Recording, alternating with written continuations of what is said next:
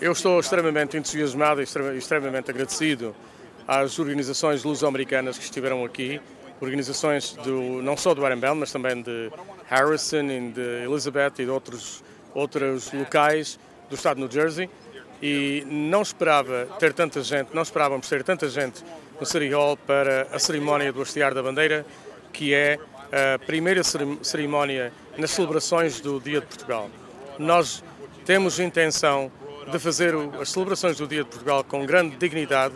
demonstrando exatamente que o trabalho e, e, e o valor da comunidade portuguesa deve ser demonstrado com a mesma dignidade que, que nos fez ter uma história muito rica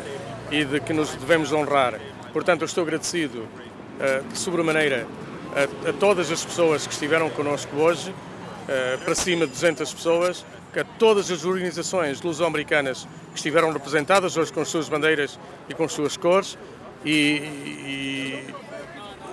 e o meu coração está cheio de alegria hoje.